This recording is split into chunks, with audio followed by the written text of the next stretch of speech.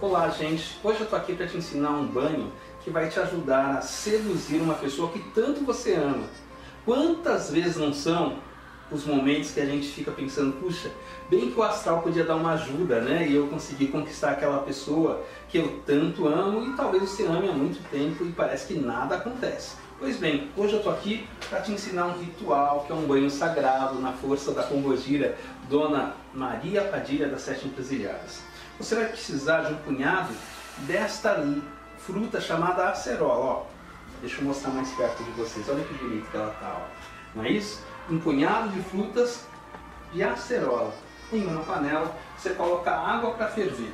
Eu gosto desse caldeirão aqui, porque esse caldeirão está na minha família há 86 anos. É muito tempo, né? E já foi tanto usado para magias e hoje eu, Francisco Borges, tenho o prazer de manuseá-lo.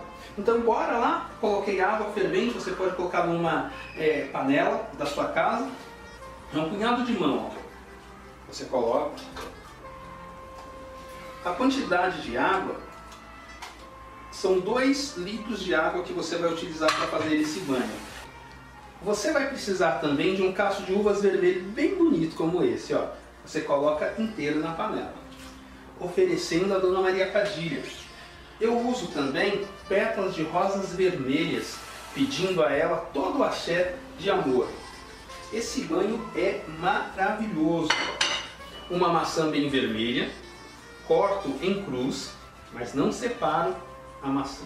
Só faço isso. Coloco inteiro aqui na panela.